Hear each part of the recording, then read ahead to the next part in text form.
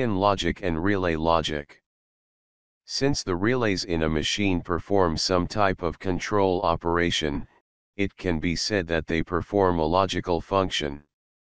As with all logical functions, these control circuits must consist of the fundamental and, or, and invert logical operations.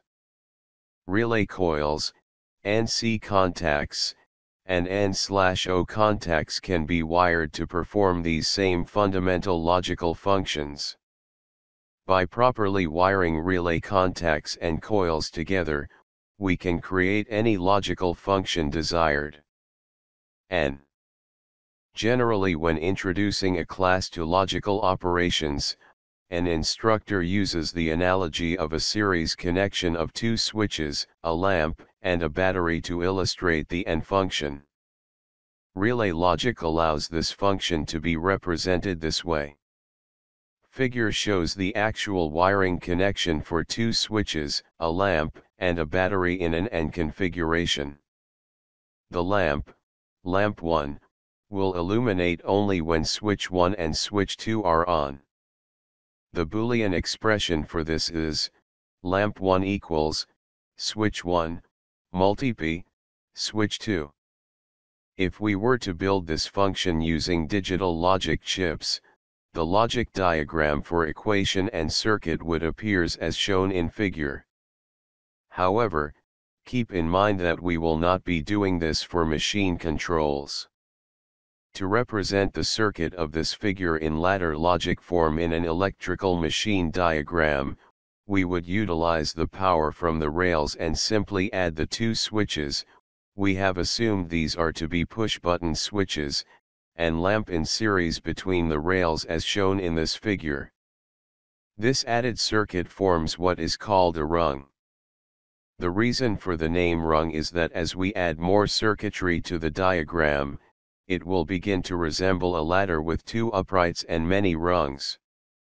There are a few important details that have been added along with the switches and lamp. Note that the added wires have been assigned the wire numbers 3 and 4 and the added components have been assigned the reference designators PB1, PB2, and L1. Also note that the switches are on the left and the lamp is on the right. This is a standard convention when designing and drawing machine circuits.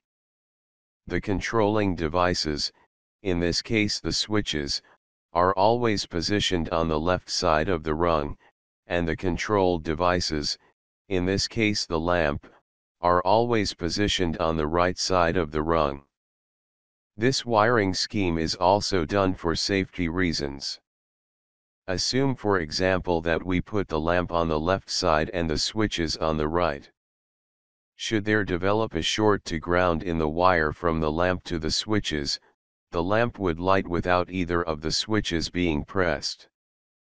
For a lamp to inadvertently light is not a serious problem, but assume that instead of a lamp, we had the coil of a relay that started the machine. This would mean that a short circuit would start the machine without any warning. By properly wiring the control device, called the load, on the right side, a short in the circuit will cause the fuse to blow when the rung is activated, thus de-energizing the machine controls and shutting down the machine. Or, the same approach may be taken for the OR function. The circuit shown in figure illustrates two switches wired as an OR function controlling a lamp, lamp 2.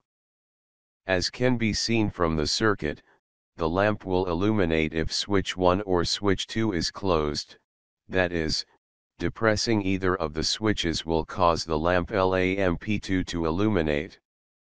The Boolean expression for this circuit is, lamp 1 equals switch 1, plus, Switch 2. For those more familiar with logic diagramming, the OR gate representation of the OR circuit and equation is shown in figure. Again, when drawing machine controls diagrams, we do not use this schematic representation.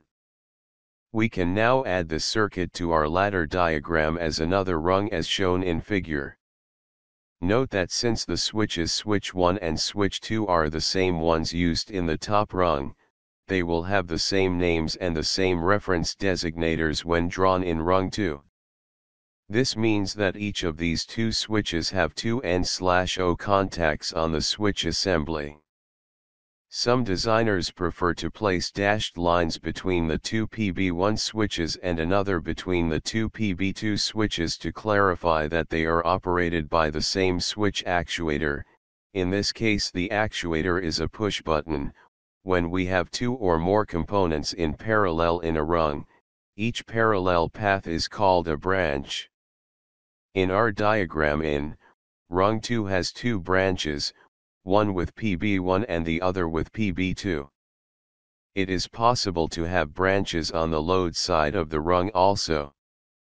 For example, we could place another lamp in parallel with lamp 2 thereby creating a branch on the load side. It is important to note that in our ladder diagram, it is possible to exchange rungs 1 and 2 without changing the way the lamps operate.